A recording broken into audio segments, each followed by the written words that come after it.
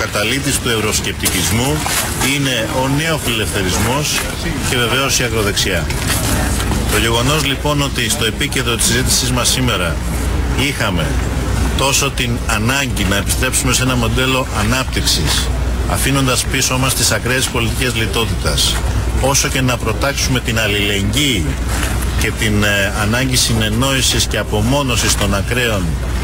λαϊκιστικών ε, δυνάμεων που υψώνουν τύχη και φράκτες στην Ευρώπη είναι ένα θετικό γεγονός. Η Ελλάδα, όπως γνωρίζετε, ακριβώς επειδή βρίσκεται στο επίκεντρο αυτών των κρίσεων, έχει ως φυσικούς συμμάχους τις προοδευτικές δυνάμεις και τις προοδευτικές κυβερνήσεις.